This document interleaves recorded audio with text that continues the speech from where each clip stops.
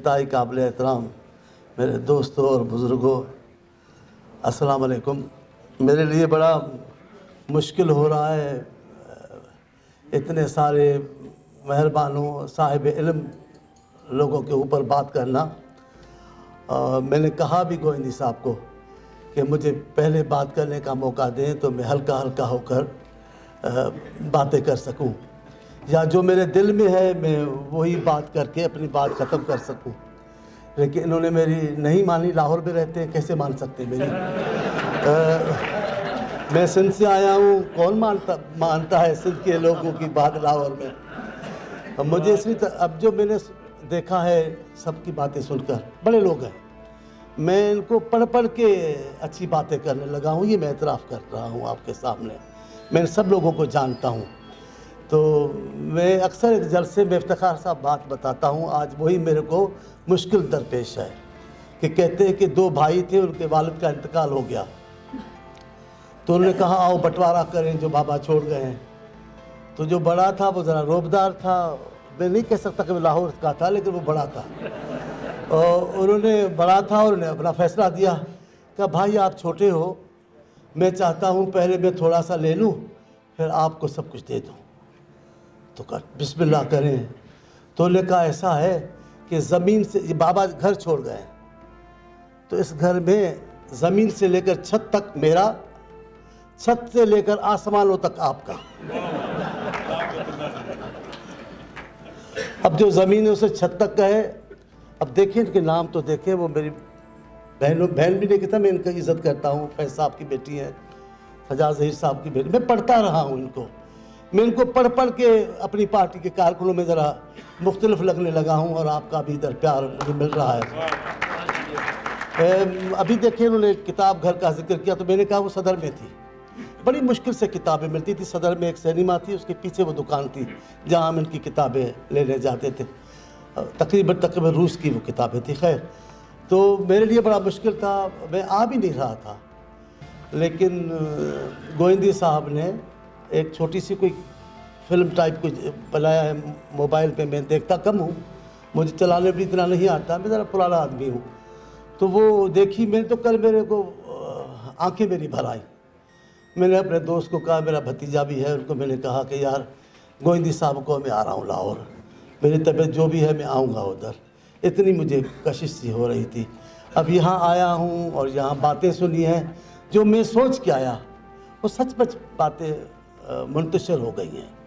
اتنی، اتنے سوال چھوڑے ہیں، اتنے موضوعات آپ نے اجاگر کر دیے ہیں، نمایاں کر دیے ہیں۔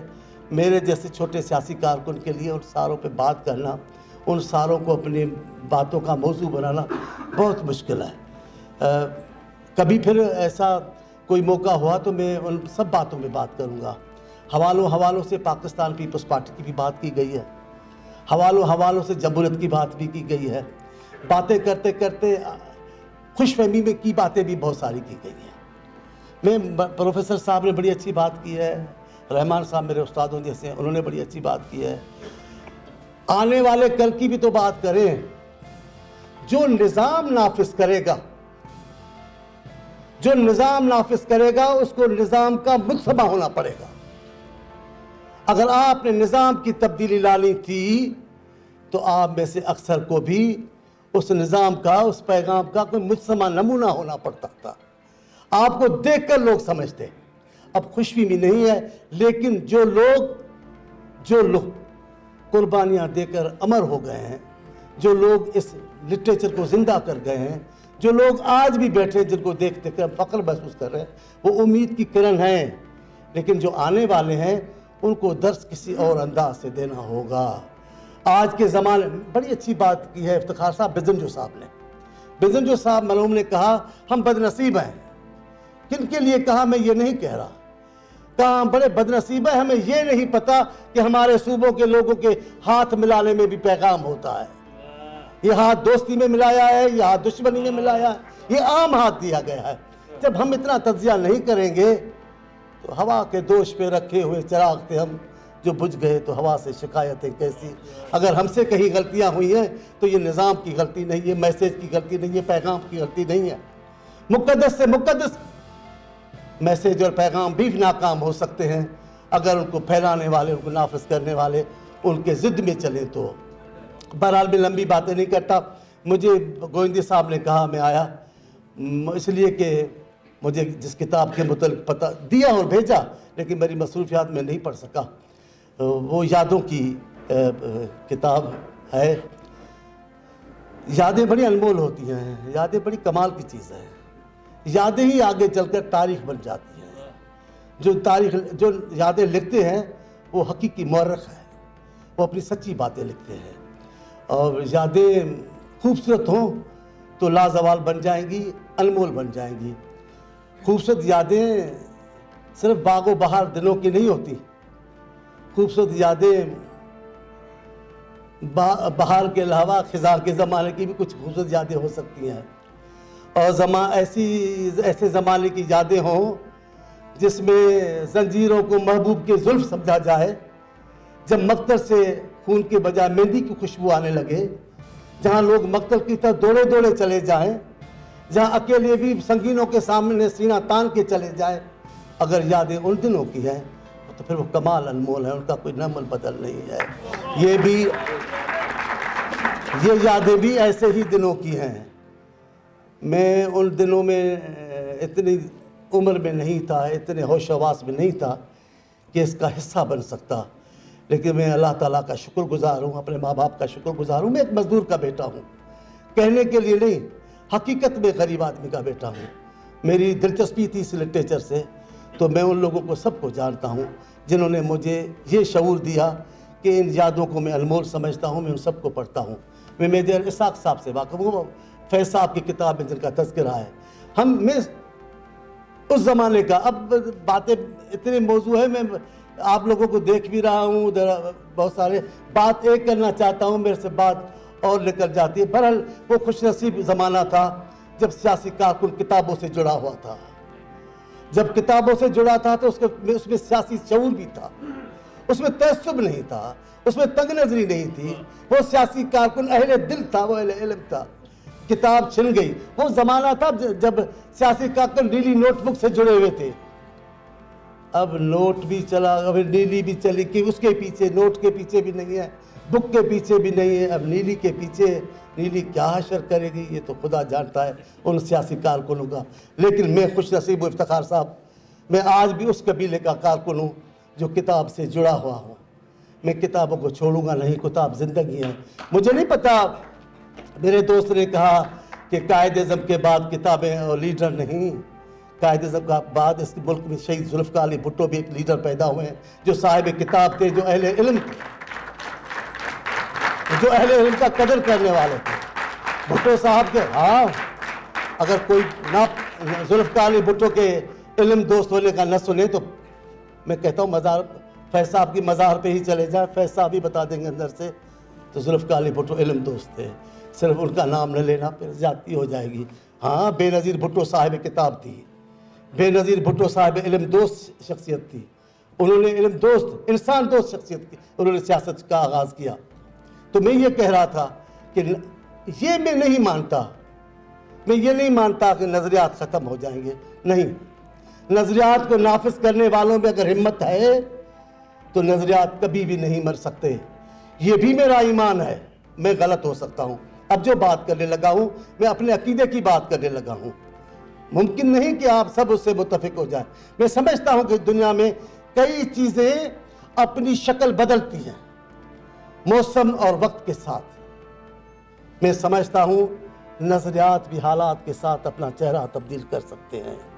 اگر سرخ سیاست کا مطلب عوام کے لیے آسانیاں پیدا کرنا ہے، اگر سرخ سیاست کا مطلب عوام کے حقوق حاصل کرنا ہے، اگر سرخ سیاست کا مطلب ہے انسان کو انسان کی غلامی سے نجات دلائی جائے، تو یہ سیاست کبھی ختم نہیں ہوگی۔ یہ سیاست کا خاتمہ نہیں ہو سکتا۔ تبدیل ہو سکتی ہے۔ آج جو بھی رویہ، جو بھی سیاست یہ کام کرے گی، اس کو میں ویسے ہی سمجھوں گا، اس کو عام کرنا، اس کو مضبوط کرنا سمجھوں گا۔ میں نہیں کہتا، میں مناسب، میں مخالف نہیں ہوں۔ میں نہیں کہتا کہ جناب اب وہ دور ختم نہیں، وہ دور ختم نہیں ہوا ہے۔ آج بھی دیکھیں، سب دیکھ رہے نوجوان بھی بیٹھے بزرگوں کی تو بات میں نہیں کرتا۔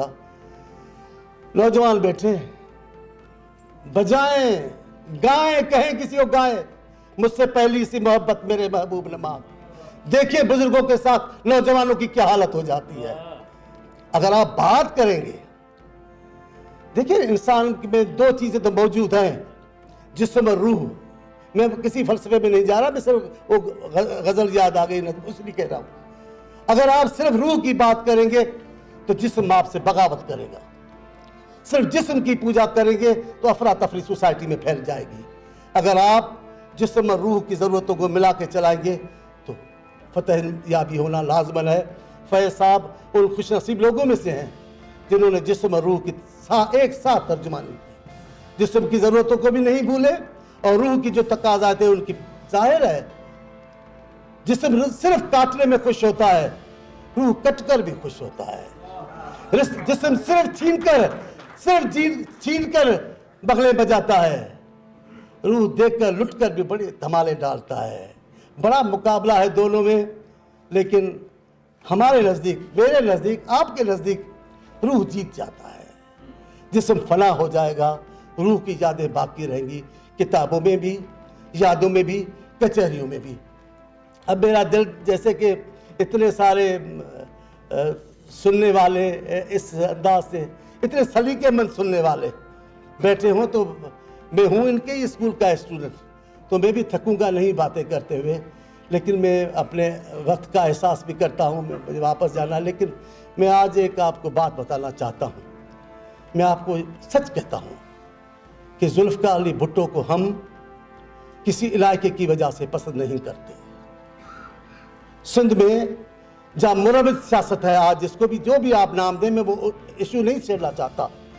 یہ وہی سیاست ہے جو علم اور ادب سے، سیاسی ادب سے، نظریات سے نکل کر باہر آئی ہے۔ ہاں کچھ لوگ آ جاتے ہیں ہر جگہ پر۔ میں کئی ایسی مقدس تحریکیں بتا سکتا ہوں، جہاں ایسے لوگ آئے، انہوں نے خلیہ بگاڑ کے رکھ دیا نظریات کا۔ میں ایسے نہیں ان کے لیے بات نہیں کرنا چاہتا، لیکن ایسے بات ہے حقیقت یہی ہے۔ ذوالفقار علی بھٹو کو نظریات کی بنیاد پر پسند کیا گیا۔ بھٹو کے خلاف پولیس تھی، عوام پولیس کے خلاف تھی۔ بھٹو کے خلاف پٹواری اور مختار کار تھے۔ عوام پٹواری اور مختار کاروں کے خلاف تھا۔ بھٹو کے خلاف سرمایہ دار سیٹھ جاگیدار وہ تھے نواب اور خانزادے اور جو بھی تھے، کہتے تھے۔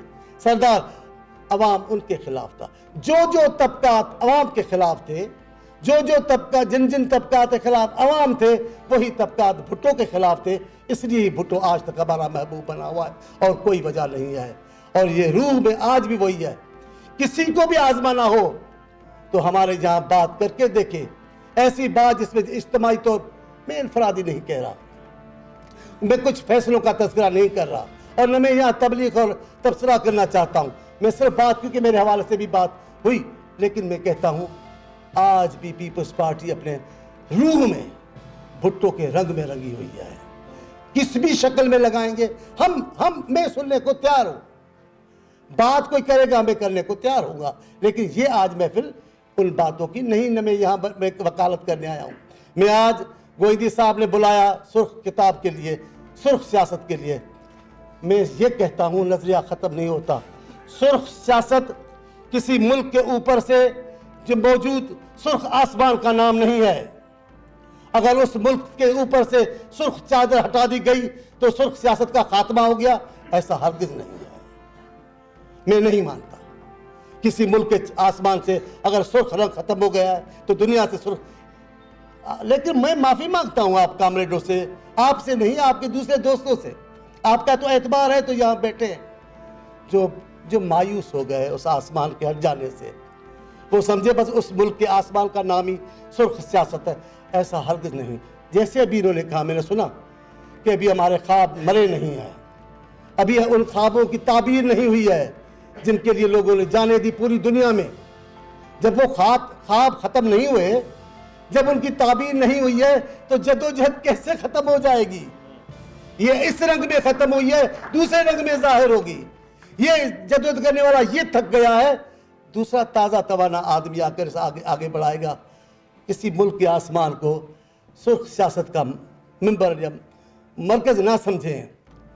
انسان کی بھلائی، انسان کی آزادی اگر ہمارا مقصد ہے، جس کے لیے ہم قربانیاں دے رہے تھے، دے رہے ہیں۔ آج بھی بڑے لوگ ہیں۔ غور سے جا کر دیکھے پارٹیوں میں۔ میری پارٹی میں اور پارٹیوں میں جا کر دیکھے غور سے۔ تو جو میں کہہ رہا ہوں، اس کی تصدیق نہ ہو۔ تو میں آپ کا جواب دا اسی ایسے اسی جگہ پر آپ آ جانا، مجھ سے سوال پوچھیں، میں آپ کو جواب دوں گا۔ میں گوندی صاحب آپ کا شکر گزار ہوں۔ جیسے میں نے کہا کہ میرے دل میں باتیں بہت تھیں۔ جو یہاں آ کر تبدیل ہو گئی، یہاں سن کر کچھ اور ہی موضوعات نکل آئے ہیں، جن میں میرے لہجے میں بھی ہو سکتا ہے۔ آپ کے صاحبان کے موجودگی میں وہ لہجہ اچھا نہ بھی ہو، لیکن میرے دل میں بہت ساری باتیں ہیں۔ آپ پوچھیں تو میں بتانے کو تیار ہوں گا۔ آپ نہیں، میں آیا۔ یہ بھی میرا ملک ہے۔ یوں کیوں کہتے ہو کہ میں یہاں مہمان ہوں؟ میں پاکستانی نہیں ہوں۔ میں پاکستانی نہیں۔ لاہور میرا نہیں ہو سکتا۔ میں پاکستانی ہوں، پاکستان پورا میرا ہے۔ ایک بدقسمتی انہوں نے کی جنہوں نے چار پاکستان بنا دیے گزشتہ انتخابات میں۔ آپ کیوں باتوں کو چھیڑتے ہیں؟ سندھ میں سندھی کر دیے پنجاب میں پنجابی کر دیے بلوچستان میں بلوچ کر دیے پختونخوا میں پٹھان کر دیے ایک پاکستان میں سے چار پاکستان۔ جو بھی اس انتخابات سے پہلے تھے کتنے ہی دھاندلیوں والے انتخابات تھے، اچھے تھے۔ اس میں ایک پاکستان تو نظر آتا تھا۔ کوئی پارٹی تو نظر آتی تھی۔ اب تو وہ ختم ہو گیا۔ اس لیے آپ تو کم سے کم مجھے میرے حق سے محروم نہ کریں۔ یہ میرا ملک ہے، میرا صوبہ ہے، میں یہاں کا ہوں۔ میں کوئی مہمان نہیں ہوں میں آپ کا ساتھی ہوں میں آپ کا رفیق ہوں۔ آپ نے مہمان کے ساتھ مجھے بڑی عزت دی۔ آخر میں بات کروائی اتنے بڑے سینئر لوگوں کے سامنے۔ انشاءاللہ اب جو سب مجھے ملا ہے افتخار صاحب کی دعا سے تو میں ادھر بار بار انشاءاللہ آؤں گا۔ انشاءاللہ بار بار آپ سے میری کچہریاں ہوں گی میڈیا کے ذریعے بھی ہوں گی روبرو بھی بیٹھوں گا آپ دوستوں کے ساتھ۔ مجھ سے بھی غلطیاں ہوں گی لیکن میں ایک یقین دلاتا ہوں میرے نزدیک نظریہ بڑی چیز ہے۔ میرے نزدیک جو جد و جد میں نے بھٹو صاحب کی قیادت میں کی ہے وہ آج بھی میرا خواب ہے۔ میرے نزدیک جو میں نے لٹریچر پڑھ کر مجھے سمجھداری ملی جو شعور ملا وہ آج بھی ختم نہیں ہوا۔ ایک ہی جملہ کہہ دیتا ہوں میرا میں آپ کے سامنے حلفیہ کہہ رہا ہوں میرا اپنے خوابوں میں سے اعتماد ختم نہیں ہوا۔ میں اپنے خوابوں کو میں سمجھتا ہوں خواب زندگی کی علامت ہیں۔ جب میرے خواب میں سے میرا اعتبار ٹوٹ جائے گا، میں سمجھتا ہوں میں زندہ نہیں رہوں گا۔ مجھے زندہ رکھا ہے میرے خوابوں نے جو جڑے ہوئے، جن کی تعبیر جڑی ہوئی ہے، عام لوگوں سے، کسانوں سے، مزدوروں سے، غریبوں سے، دانشوروں سے۔ بس میں آپ سے اجازت چاہتا ہوں، سلام پیش کرتا ہوں ان تمام لوگوں کو جنہوں نے سرخ سیاست کے لیے اپنی جانیں دی۔ جنہوں نے سرخ سرخ سیاست کے لیے جیلوں کو سجایا جیلوں کو آباد کیا ہے۔ میں سلام پیش کرتا ہوں ان لوگوں کو جنہوں نے انسانیت کے لیے، جمہوریت کے لیے خود کو لاہور میں آگ لگائی۔